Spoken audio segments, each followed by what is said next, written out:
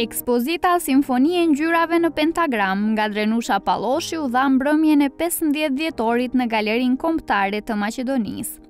Në këtë ekspozitë Drenusha solli një kombinim të dy pjesëve shpirtërore të saj, pikturës dhe muzikës. Pentagramet tek pikturat e Drenushës paraqiten si shtyllë mbajtëse e mbrojtëse e koloritit dhe fraksioneve të nuancave të përfituara. Kështu e përshkruan ekspozitën e Drenushës profesoresha e artit Enesa Memeti. Duke palosur ngjyrat në një rend të caktuar, krijohet një melodi e cila nuk është e komplikuar kompozicionalisht, por e cila qartësohet vizualisht duke nxjerrë në pah aftësitë interpretuese të muzikalitetit dhe dashurisë për muzikën. Loja brenda pikturave është e këndshme dhe shumë origjinale ngase përcillen nga nostalgjia fëmijërore e mbështjellur me dashuri dhe kujtime për orët e pianos. E rrethuar gjithnjë me përkura dhe ngjyra nga babai i saj, nga njëra anë, dhe duke ndjekur shkollimin formal në fushën e muzikës, nga ana tjetër, Duket që Drenusha që në moshë të hershme fillon ta ushqejë kreativitetin e saj, duke mbledhur përjetime të shumta, të cilat më vonë do t'i përkthejë në vepra arti. Në veprat e saj dominojnë format abstrakte, të realizuara në një me një paletë mjaft të pasur dhe intensive. Nga secila nga këto forma abstrakte shfaqen fragmente të instrumenteve të ndryshme muzikore. prezenca e të cilave flet për dëshirën e artistes për të krijuar një territor të ri në të cilin do të bashkohen këto dy botra, pra bota e ngjyrës dhe tingullit. Kjo ekspozitë është një autobiografi e paraqitur në formë të pikturave, në të cilat artistja shpallos pasionin e saj ndaj muzikës dhe nostalgjinë e një fëmijërie të kaluar rreth pianos, fërkurës,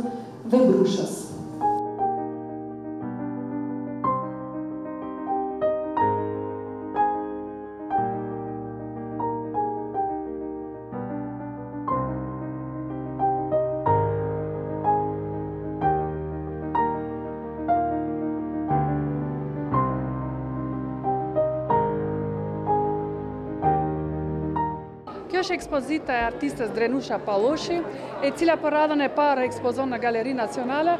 Ishte është një moment paksa edhe emocionus, ngaqë ne të trejat e hapëm me ekspozitën, me Enesa Mehmetin edhe Drenusha Palloshin, ku në këtë mënyrë madhështore në Galeri Nacionale hapet një ekspozitë të një vajzës të dalluar, e cila përthekson ka artin figurativ në elemente të ekspresionit të ngjyrave dhe komponimin të muzikës, ngaqë e ka artin që në bredhët më të lashta të familjes të saj, babai i saj është artisti i shuar Miftar Memeti, pra mundemi të shohim edhe atë Edukimin përmes kulturës se si ndikon në zhvillimin e një artistes të cilën këtu e personifikojmë nëpër veprat e Drenushës. Drenusha është edhe një ndër persona që është edhe aktive në rrjetet sociale, e cila edhe me muzikën e saj na shfaqen emocione të ndryshme, me këngët të lashta shqiptare, të cilat sa herë na zbulojnë emocione. dhe të shfaqen pikturat të saja ta shofim dimensionin e saj artistike dhe çdo ekspozitë për një artist është edhe shfaqja e interesit të brendshëm, mendimit të brendshëm të cilat zhvillohen atë dhe të vijnë në syrin kritik të cilët janë vizituesit të cilët i vizitojnë ekspozitën e asaj. Pra, sa herë është nga ana ime një moment edhe shtesë emocionues ku artistet tona femra të dalluara dhe duan të shfaqen dhe duan të ekspozohen dhe duan të jenë të afirmuara në aktivitetet të Galerisë Nacionale. Galeria Nacionale ka qenë shumë aktive këtë vit, keni pasur aktivitete të shumta. Si ndiheni në këtë dhjetor kur shihni një punë që e keni bërë gjatë gjithë këtij viti?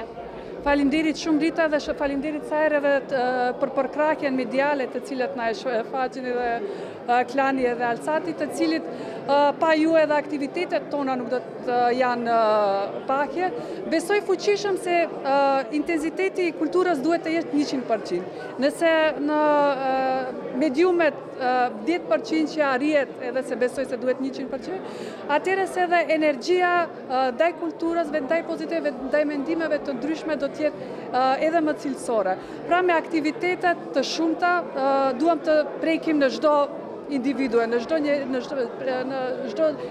njeri të cilët prej moshës më të re deri moshës më të avancuar. Pra besoj se me aktivitete të shumta edhe për fëmijët, edhe ja ekspozitat, retrospektivat e të shumta, të prekim në dëgjimin e secilit dhe të bëhen pjesë e Galerisë Nacionale dhe besoj fuqishëm se do të jetë edhe mirëqenie për secilin i cili vjen këtu.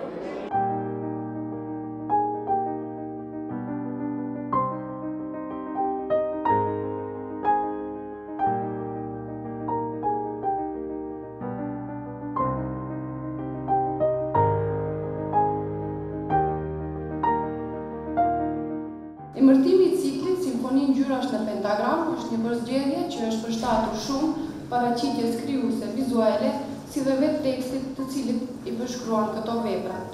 Drenusha pentagramit i paraqet si shtyllë qëndrese mbi të cilat e performon të gjithë atë lojë inspiruese dhe krijuese.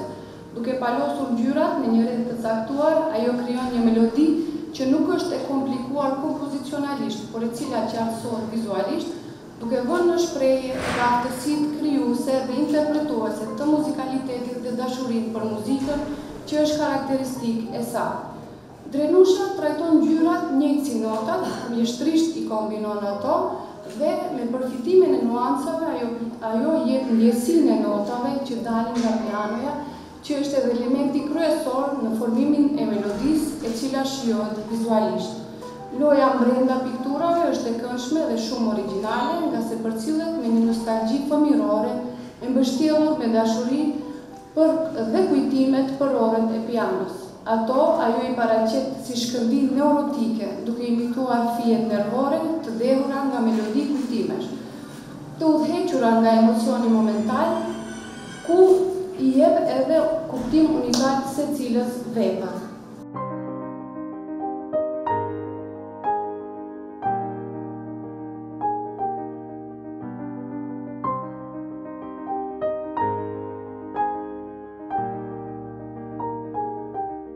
Drenusha sonde paraqitet me një koncept i cili është ndërtuar natyrshëm, mbi një fëmijëri të kaluar me orë pianoje, e mbushur dhe e rrethuar me dashuri rreth muzikës klasike, si dhe nën shoqërimin e vazhdueshëm të tingujve të kitarës së babait.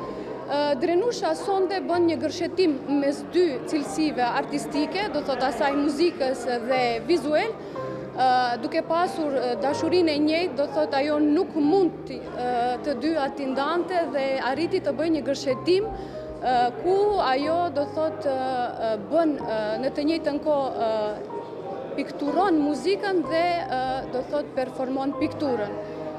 Drenusha do thotë paraqitet shumë fuqishëm Dashtë në aspektin e teknikës koloristike, do të thotë teknikës së akrilit, do të thotë ajo me këtë teknikë ka shpreh, do të thotë sigurinë, ekspresivitetin, përgjatë kërkimit të formës, njohurinë e mirëfilltë të teorisë figurative, si dhe do të thotë paraqitjen e mirëfilltë të një artisti të kohës moderne. Unë i uroj Drenushës shumë suksese në të ardhmen, Dhe shpresoj, do të thotë që për publikun artdashës të ketë risi të tilla dhe vepra të mirëfillta. Ju faleminderit.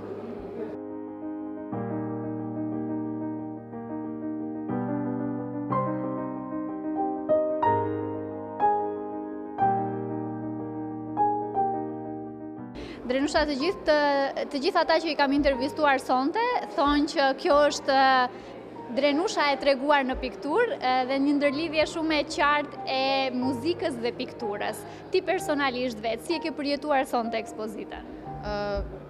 Shif, si është ndjenja e kur sheh që publik ke të gjerë, edhe të gjithë janë njerëz që e duan artin në përgjithësi, pasi që kjo është një ekspozitë arti, dhe jam ndier jashtëzakonisht shumë shumë e lumtur me prezencën e njerëzve, normal edhe ajo se si dukeshin pikturat në këtë galeri, më bëri të ndjehem shumë mirë drejt të them. U përmend babai yt dhe ndikimi që ka pasur tek tek ti, si e ke përjetuar ose sa inspirim të ka dhënë ai për këtë për Këtë ekspozitë, por edhe për këto piktura, të cilat kanë edhe muzikën edhe pikturën të përfshirë në një. është shumë e vërtetë, Rita, pasi që unë jam rrit në një frymë arti, jam rrit në atelien e babait tim, i cili është piktori Miftar Memeti, kështu që nuk ka pas se si të mos dilja unë sot një piktore, të themi.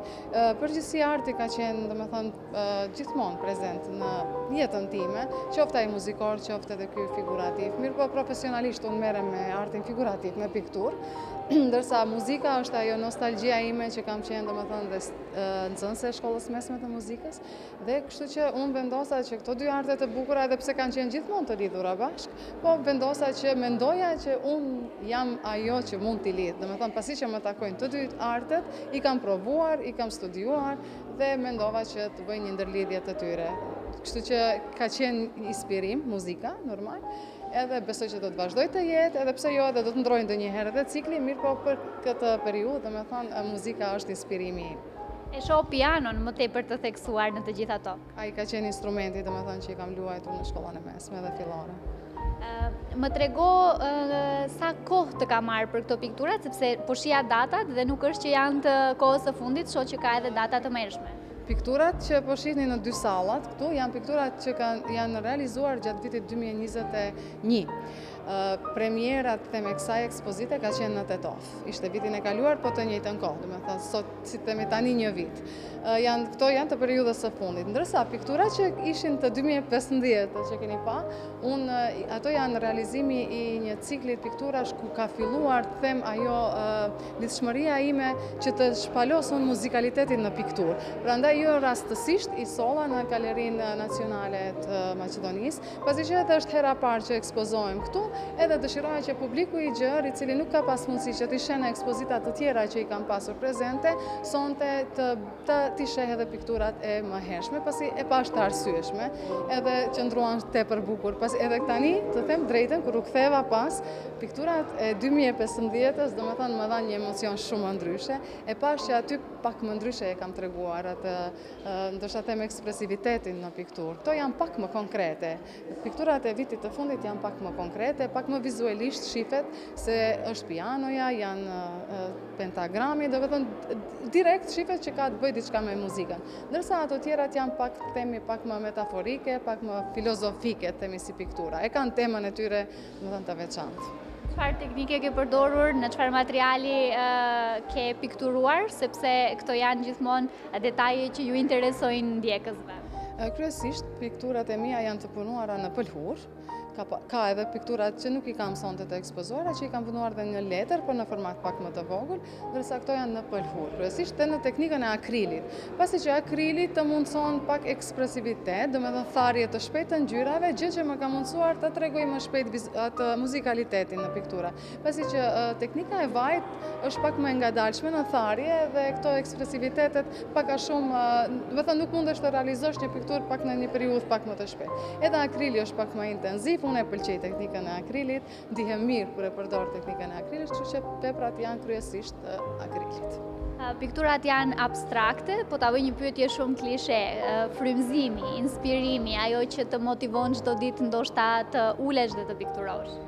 Normalisht, inspirimi tani ka edhe momente ku thonë që artistët inspirohen aty, i kujtohet diçka dhe ajo ndodh ndonjëherë, mirëpo normalisht tek unë ndikimi më i mirë është kur kam pozitivitet gjatë ditës, pozitivitet rreth prej njerëzve që më rrethojnë, të ndihem mirë dhe të shoh gjëra të bukura, kjo është inspirimi im më i madh normalisht. Edhe ajo që thashë më herët muzika, po edhe muzikë nuk ndigjon në qoftë se nuk je, kur je edhe në disponim edhe jo në disponim, muzika është ajo që të shoqëron, kështu që janë shumë gjëra që më kanë motivuar, është edhe profesioni im, jam profesoreshë e artit figurativ, jam, domethënë, unë çdo ditë jetoj me artin, çdo ditë jetoj me pikturën, me vizatimin, Kështu që inspirimin e gjej çdo ditë dhe gjithkund. Përmende që ke pasur ekspozitën vitin e kaluar, kemi pasur një kohë pandemie kur për shumë artistë ka ndikuar pozitivisht ose negativisht, si ka qenë për ty kjo periudhë duke pasur parasysh që pikturat janë bërë në kohë pandemie? Realizime të pikturave gjatë pandemisë nuk kam pas, po ideja ka qenë kështu që më është rrotulluar non-stop, pasi që edhe atëherë nuk e dinim a do të mund të bëjmë se zakonisht Veprat e artit, apo të themi edhe koncertet, kanë qenë një, s'e them, një e largët, një diçka shumë e largët na, na dukeshte atë periudhë, se thonim a do të arrijmë që të dalim para skenës, apo do të arrijmë që të vijnë njerëz nëpër ekspozita, po kemi pas, domethënë, këto rrjetet sociale, ku ne kemi shfaq punën tonë, domethënë, si artist, si piktor.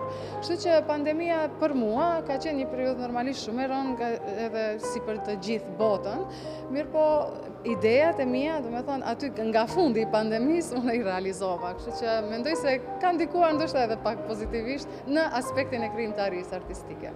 Përmende që je dhe profesoreshë, si të duket, të si të duket më mirë thënë studentët e rinj të cilët duan të merren me art, duke pasur parasysh që edhe ti Ke kryer studimet në këtë drejtim? Unë e them shpesh bilesa edhe bashkëshorti më thotë po nuk është se ke mbaruar aq shpejt, mos e thuaj që unë ndihem ende shumë, sikur i kam mbaruar shumë shpejt studimet, ka mbi 10 vite që kam mbaruar studimet, mirëpo konstant jam, jam marrë me, me fakultetin e arteve, jo magistratura dhe këto gjëra tjera, tani dhe si pjesë e stafit akademik në fakultetin e arteve, studentët e Domethënë janë vërtet, unë ndihem shumë mirë që kemi edhe numër të mirë të studentëve të cilët kanë kapacitet edhe koha tani atyre ju mundëson edhe shumë më shumë domethënë që të përparojnë në art edhe kanë më shumë qasje në informacion. Domethënë edhe si talenti kemi, kemi një goxha numër të madh të studentëve të cilët shfaqin një talent jashtëzakonisht të mirë edhe kështu që shpresoj të vazhdojnë në këtë tempo. Çfarë për vitin e ardhshëm, jemi në fund të këtij viti, më thuaj si ka qenë ky vit për ty dhe çfarë pret prej vitit të ardhshëm? Unë, derisa e mendoja idenë dhe planet për vitin e ardhshëm, thashë nuk do ia them askujt, do e bëj si befasi, kështu që nuk e di sa njerëzve jua kam treguar unë sonte planet e mia, domethënë normalisht, tani planet ekzistojnë, mirëpo realizimet varet edhe nga si të shkojnë përditshmëritë, Kështu që kam ndër mend që vitin e ardhshëm me një projekt të vij me një projekt pak a shumë të ngjashëm, mirëpo të jetë edhe përzier edhe muzika konkretisht. Domethënë që të jetë një koncert dhe një ekspozitë ndoshta në të ardhmen, ndoshta vitin e ardhshëm. Po ky vit si ka qenë për ty, si e ke përjetuar, është një vit i suksesshëm, është një vit që ndoshta ka lënë diçka mangut? Realizimi i këtyre, domethënë, i ekspozitës së vjetshme në Tetovë që e kisha me këto piktura, Domethënë, pas asaj ekspozite, unë pata edhe një ekspozitë në Turqi. Domethënë, këto piktura kanë shëtit pak andej këndej, kështu që të them të drejtën e quaj si një vit të suksesshëm. Edhe përmbyll me sukses, besoj këtë vit. Një pyetje për fund, janë në shitje pikturat për gjithë ata që duan t'i blejnë? Patjetër që janë, po. Janë, domethënë, nuk është që kur i bëj, e bëj me plan që t'i shes, mirëpo e shof interesin e njerëzve dhe pse jo, pse mos të kesh në shpi, apo në ambientin ku jeton, një pikturë të bukur. Kështu që është i hapur ankandi. Faleminderit shumë, Drenusha. Faleminderit shumë edhe ty Rita.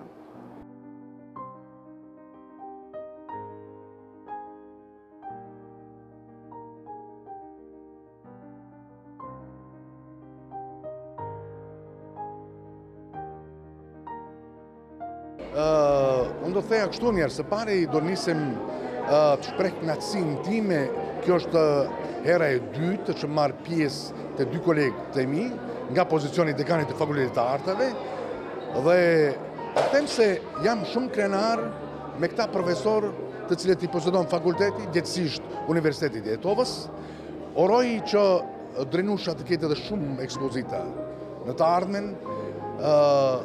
Kam kënaqësinë dhe nderin të them se jam krenar që jam profesor dhe që jam dekan i atij fakulteti. Në këtë cikël të punimeve, kuptohet se Drenusha është mjaft e sigurt në vetveten e saj, për arsye se janë kyqur të themi shqisa të ndryshme të cilat ajo i ka bashkuar në një vepër. Këtu në këtë cikël, ajo siç e shifni ka shfrytëzuar disa instrumente muzikore të cilat i ka paraqitur në mënyrë ekspresive me një lepezë shumë të pasur të ngjyrave, sikur krijojnë një simfoni muzikore, kur bashkohet ngjyra, format e instrumenteve, Dhe ky kompozicion i përbërë nga të gjitha elementet figurative. Ajo ka arritur të bëjë një lloj harmonizimi të paletës së pasur të ngjyrave. Ngjyrat të gjitha janë të ngrohta, janë intensive dhe të përcjellura me penelata të ndryshme. Në disa momente ajo ka përdorur penelata të holla, të qeta, në disa raste për ta theksuar atë ta themi, vibrimin e pikturave, penelatat i ka më të vrullshme dhe më të shpejta. Nora, si t'u duk ekspozita e Drenushës sonte? Ekspozita e Drenushës shumë e këndshme. I shohim nëpër këto piktura se na vjen Drenusha tamam si një drenushë që lodron me ngjyra në pentagrame në partitura muzikore. Arti dhe sidomos piktura dhe muzika janë habitati ku Drenusha e ndjen vetveten, domethënë ndihet komod për ta përcjellur tek ne ato vlimet e saja shpirtërore, po pse jo edhe karakteriale. Në këto pikturat e ciklit të fundit, shohim një dramë të vërtetë ngjyrash, një shpërthim emocional, por edhe një nerv të theksuar artistik. Kurse në pikturat e ciklit paraprak, unë mendoj se Drenusha ka arritur të ndërtojë një harmoni mes kontekstesh të ndryshme, siç është ta themi arti figurativ dhe arti muzikor. Duke e njohur dellin artistik të Drenushës, nuk kam dyshim që edhe në të ardhmen ajo do ketë suksese me ekspozitat e radhës. Alex. Si të dukën ngjyrat, si e përjetove ti personalisht, sepse kam përshtypjen gjithkush e kupton ndryshe atë që sheh në piktura. Ne që e njohim nga afër, e përjetojmë vërtet ndryshe. Domethënë që e njohim nga afër Drenushën, sepse unë dikur e kam pas studente, sot është kolege. Ajo në qoftë se e ka një armë të saj të fuqishme, është pikërisht njohja e paletës së ngjyrës. Domethënë ngjyrave.